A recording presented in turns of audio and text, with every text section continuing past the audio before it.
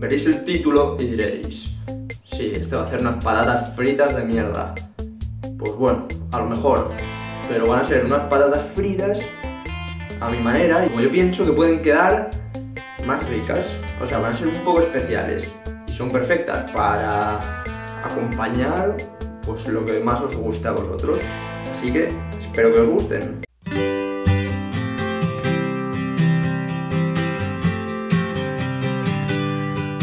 Y los ingredientes que necesitamos para esta receta son los siguientes. Unas patatas de estas pequeñitas que son más tiernas y quedan mejor para freír. Y por supuesto, españolas y no francesas que son una mierda las francesas. Aquí tengo una cucharadita de sal, una cucharadita de pimentón que puede ser dulce o picante, el mío es picante, media cucharadita de ajo en polvo y una cucharadita de curry. Y ya por último, para freírlas, por supuesto, aceite de oliva, que si es virgen extra, mucho mejor.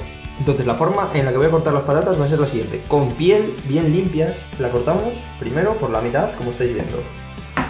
Luego otra vez por la mitad y de aquí sacamos un par de gajos. Y os tienen que dar como una especie de patatas deluxe. Y vamos a hacer esto mismo con todas. Cuando estén todas cortadas, las pongo en un bol y lo voy a llenar de agua para quitarles muy bien el almidón. Las revolvemos bien y las vamos a dejar como un minuto que se quite bien todo el almidón. Cogemos un trapo y las añadimos todas para que se sequen muy bien. Entonces cogemos nuestra sartén Majefesa Vetrinor, le añadimos todas las patatas que ya están bien secas y ahora las cubrimos muy bien de aceite. Y como veis, al contrario de lo que estaréis acostumbrados, parto desde frío. Porque lo que quiero es que primero se pochen. Así que ahora, cuando están bien cubiertas, enciendo el fuego y este es el burbujeo que tienen que tener las patatas en la primera cocción.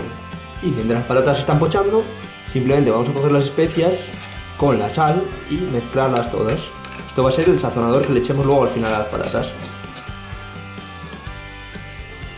Cuando pinchemos las patatas y vemos que están bien tiernas, va a ser la hora de sacarlas con cuidado.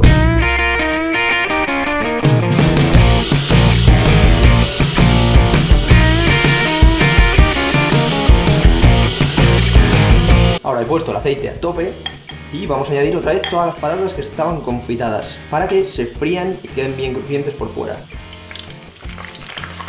Y cuando ya estén en el punto que a cada uno más nos guste, las vamos a retirar del aceite y a poner en un bol con papel secante.